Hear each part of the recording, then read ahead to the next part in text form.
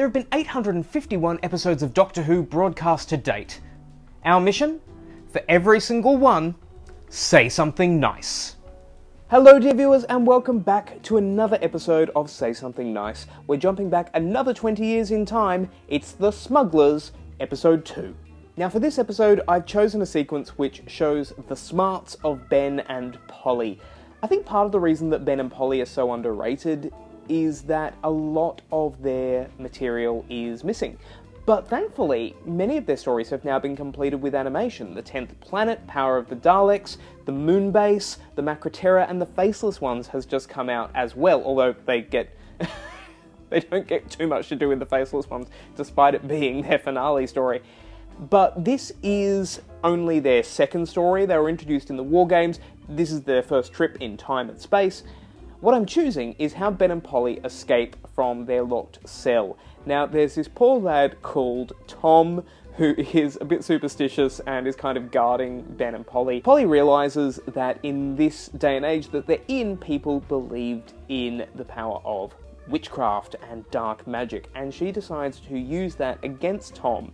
They make a straw doll, which they say that the Doctor has created in Tom's image. And if Tom doesn't let them go, then they are going to do things to the doll which will hurt Tom. What I like so much about this is they don't use physical force against Tom, it's all psychological, and in the end, Tom comes to no real harm, but Ben and Polly are free anyway.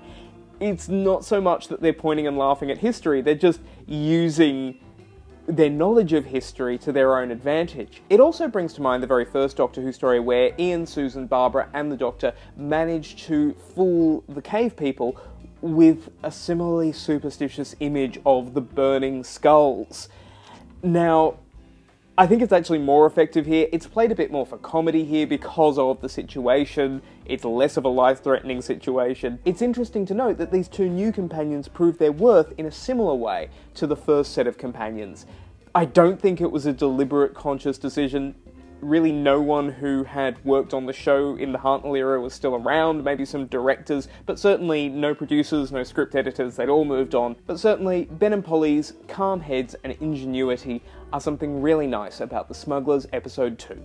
But until I see you in another video, stay safe, remember to wash your hands, and thank you so much for watching.